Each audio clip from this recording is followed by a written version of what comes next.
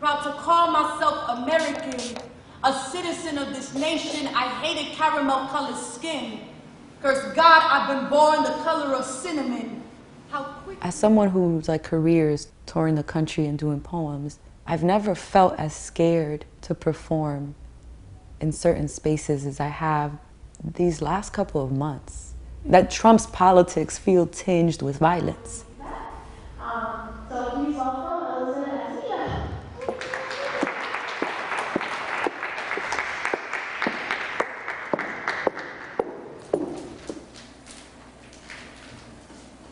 Both my parents are from the Dominican Republic, and the Dominican Republic has a huge number of Afro descendant people. But it's a place that I think is still struggling with whether or not it considers itself black.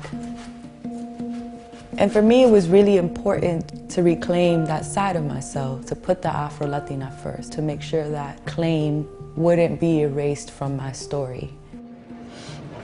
Business class, executive platinum, platinum. As a black woman in this country, immigration and women's rights, those are probably some of my top issues. American Airlines. Thank you for flying with us today. We extend a special welcome to our A and One World Alliance customers.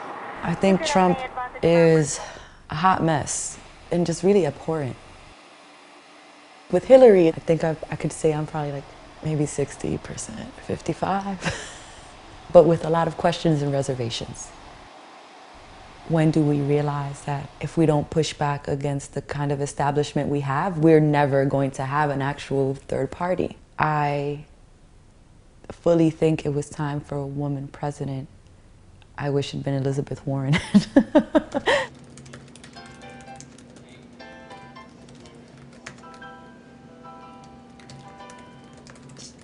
And I think for a lot of people, what Trump says is just theory. And it's not that for me. Myself and my family are directly affected by what he would do. That when we talk about reproductive rights, I've gone to Planned Parenthood before. Mom's gonna kill me. Parece que no sabe planchar. With Hillary, I just can't get over the whole like, I'm your abuela. Like, I was like, my abuela had to feed 15 kids with one plátano. I really question the privilege that sometimes Hillary doesn't recognize.